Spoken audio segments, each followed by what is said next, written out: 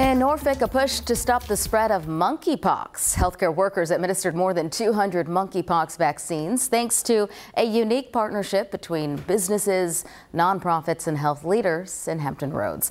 A nightclub transformed into a free vaccination clinic. Angelique Arintok spoke with organizers about why this type of outreach means so much to them.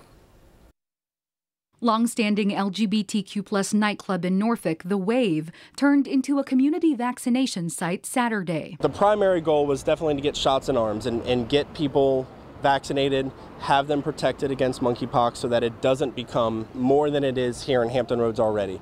There are other states and other cities that are already really badly affected by it, and I wanted to make sure that we weren't a breeding ground for that. Kyle Douglas, an employee at The Wave, came up with the idea to hold a clinic. There's so many people that walk through our doors on a Saturday night that I wanted to be able to make sure that everyone was safe and had protection. Organizers teamed up with Stonewall Sports Norfolk, LGBT Life Center, and Hampton Roads Pride on the effort. Douglas says workers with the Virginia Beach Department of Public Health administered 207 shots Saturday.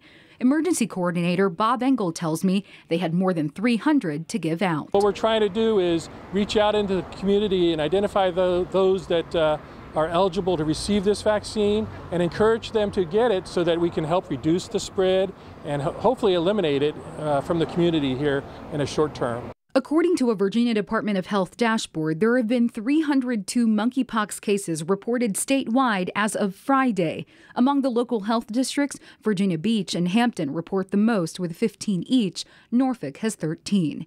Angelique Arintok, 13 News Now. Douglas hopes others follow their lead in organizing community clinics. He says there are already plans to hold a follow-up vaccination clinic in September.